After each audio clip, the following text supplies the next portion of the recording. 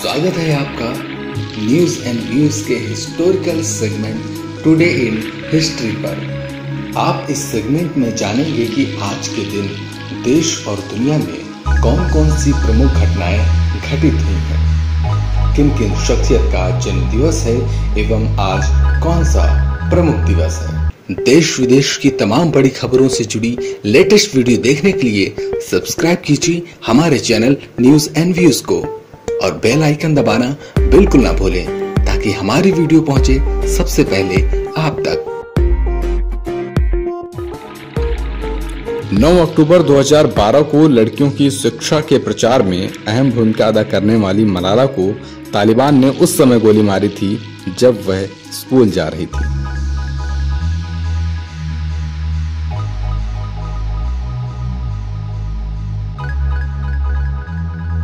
आज के ही दिन गूगल ने यूट्यूब के अधिग्रहण की घोषणा सन 2006 में की थी।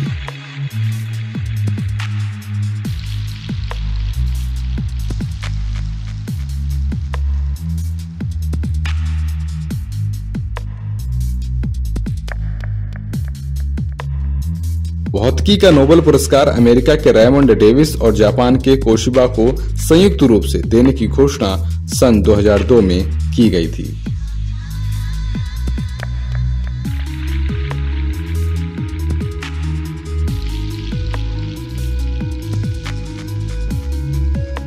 पाकिस्तान की नेशनल असेंबली ने उन्नीस सौ अट्ठानवे में इस्लामी शरीयत कानून को देश के सर्वोच्च कानून के रूप में अनुमोदित किया।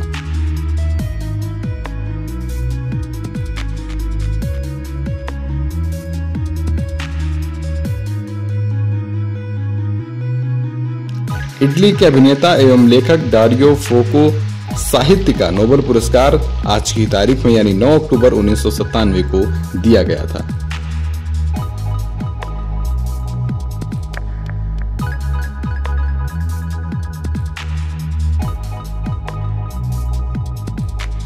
इंटरनेशनल डायरेक्ट डायलिंग सेवा मुंबई और लंदन के बीच आज की तारीख में सन उन्नीस सौ छिहत्तर में शुरू हुई थी।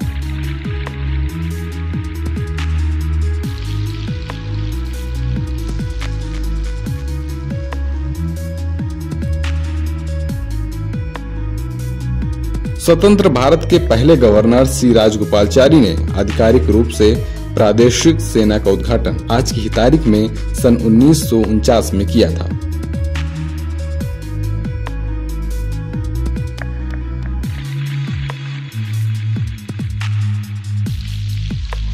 अमेरिका के प्रथम राष्ट्रपति जॉर्ज वाशिंगटन की याद में बनाए गए वाशिंगटन स्मारक को जनता के लिए सन अठारह सौ अट्ठासी में पहली बार खोला गया।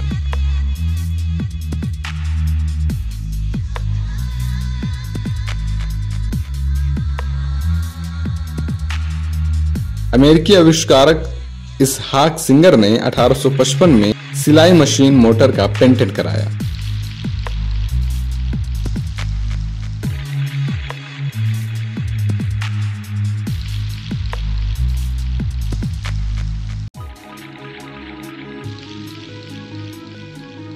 कोरियाई हंगल वर्णमाला का पहली बार प्रकाशन आज की तारीख में सन 1446 को कोरिया में हुआ था।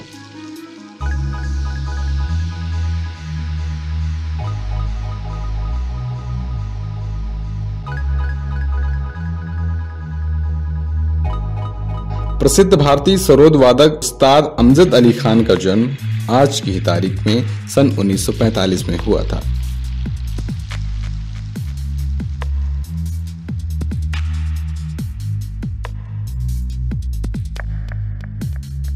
शाहजहां और मुमताज़ महल का सबसे छोटा पुत्र मुराद बख्श का जन्म आज की तारीख में सन 1624 में हुआ था।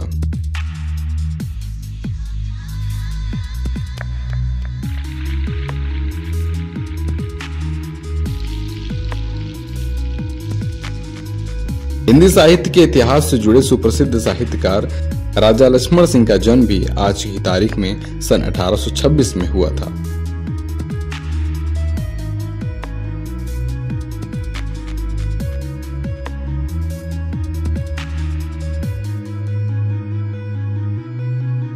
भारतीय राजनेता कांशी राम का निधन आज के ही दिन सन 2006 में हुआ था।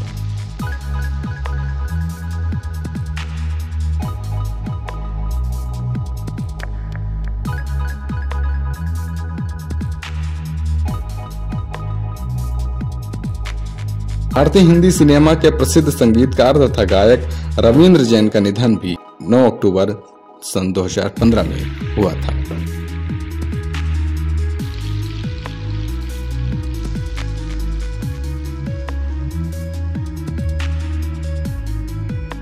देश विदेश की तमाम बड़ी खबरों से जुड़ी लेटेस्ट वीडियो देखने के लिए सब्सक्राइब कीजिए हमारे चैनल न्यूज़ एंड व्यूज़ को और बेल आइकन दबाना बिल्कुल ना भूलें ताकि हमारी वीडियो पहुँचे सबसे पहले आप तक।